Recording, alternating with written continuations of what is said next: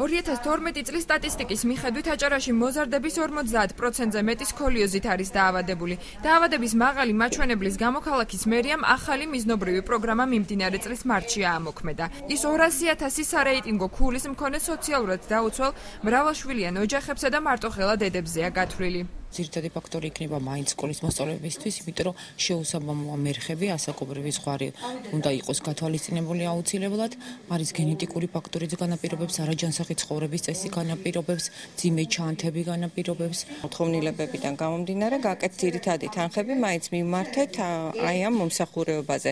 ეს არის რეაბილიტაცია, სამკურნალო მასაჟი, ფიზკულტურა, თან პლუს კიდე შევიტანეთ, ნუ ახალი ყოველ შემთხვევაში პირველად არის ესა, ეს არის მიოსტიმულაცია ინფორმაცია. მედიკოსები და მშობლების სკოლიოზის გამომწვევ მიზეზებს შორის არაჯანსაღი ცხოვრების წესის და გენეტიკური ფაქტორის გარდა სასკოლო მერხების ზომების, ასაკთან შეუსაბამობასა და სახელმძღვანელოების სიმძიმეს ასახელებენ. იგივე მიზეზებზე საუბრობენ საჯარო სკოლებშიც.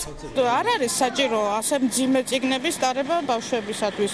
შესაბამისად ჩანთაც მძიმეა და მერხებსაც არ თვლი მე შესაბამისად სამწუხაროდ არ გვაქვს იმის ფუფუნება რომ ერთწლიანი სწავლება გქონდეს, ამიტომ გვიწევს რომ ერთა იგივე კლასში შევიდეს როგორც დაბალი კლასელი, ასევე მაღალი კლასის მოსწავლეებიც, მაგრამ შეძლებს დაგვარად ვცდილობთ რომ ცხრილი შევადგინოთ ისე და კლასები გადავანაწილოთ ისე რომ შეუსაბამობაში არ მოვიდეს. მერის ჯანდაცვის განყოფილებასა და განათლების სამინისტროში არ გამორიცხავენ რომ სკოლიოზის ერთ-ერთი მიზეზი შესაძლოა სასკოლო ინვენტარი და სახელმძღვანელო იყოს, თუმცა კონკრეტული ცვლილებების გატარებას მხოლოდ მოსაზრების დადასტურების შემდეგ ეკმავენ. ერთადერთი ახლა ბერკეტი ერთადერთი ვაპირებთ ასევე ახორციელებს ამ პროგრამას აჭარის ჯანდაცვის სამინისტრო და მასთან ერთად ფიქრობთ ერთობრივი რეკომენდაციების შემუშავებას რომელიც შემდგომ წარედგინება როგორც აჭარის განათლების სამინისტროს ასევე საქართველოს განათლების სამინისტროს. პრობლემა რასაც ქვია სკოლიოზ და დაკავშირება სკოლიოზის მერხებთან და